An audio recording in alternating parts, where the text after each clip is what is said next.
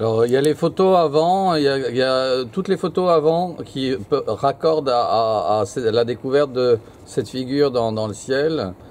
Euh, donc, ils sont à monter euh, euh, les, les photos euh, à- avant, donc euh, pour restituer la vidéo euh, à partir de cette vidéo-ci, là que j'ai démarré là. Selon mon procédé, à partir de Adobe Premiere, c'est possible 5.0.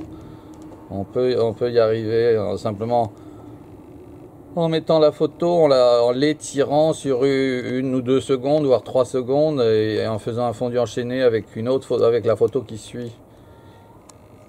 Et donc on, peut, euh, on peut avoir une, une séquence un, peu plus euh, avec plus- de données, euh, bénéficiant des données photos euh, avant.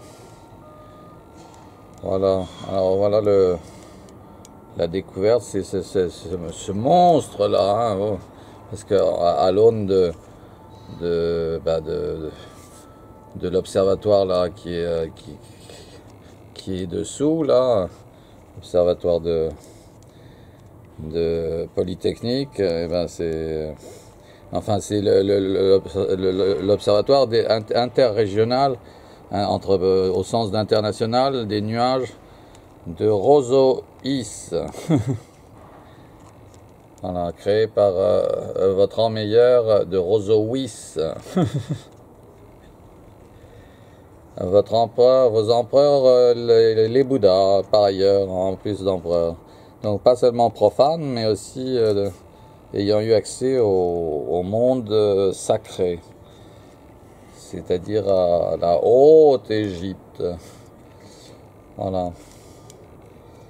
Mais euh, vous en avez un aperçu en fait en simplement en, le- en levant la tête euh, vers le ciel euh, de ce euh, que cela signifie. Bon, je vais arrêter la séquence là et, et- et je vais la prendre, je vais la continuer en photo. Voilà. Tchouk.